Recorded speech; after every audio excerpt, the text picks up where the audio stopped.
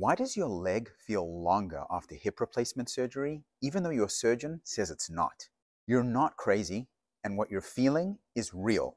But even though it feels longer, chances are it actually isn't.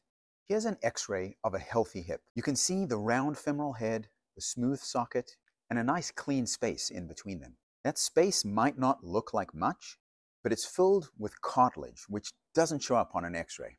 And that cartilage is what keeps your joint healthy and your leg at its full length. Now here's an arthritic hip for comparison. See how the femoral head is flattened and pushed up into the socket? That's what happens when the cartilage wears away. Your hip migrates upward and your leg actually shortens. But this change happens slowly and your body adapts over time. And your brain gets used to that length as your new normal. Then we do the surgery and put the hip back where it's supposed to be.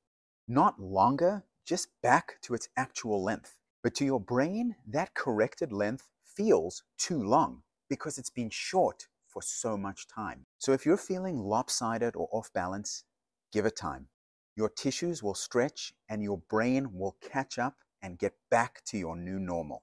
And the weird feeling will usually fade on its own. No need to panic. No need to get a shoe lift for your other shoe. It's perfectly normal. You're not uneven, you're just healing. Hope that was helpful if that's been worrying you.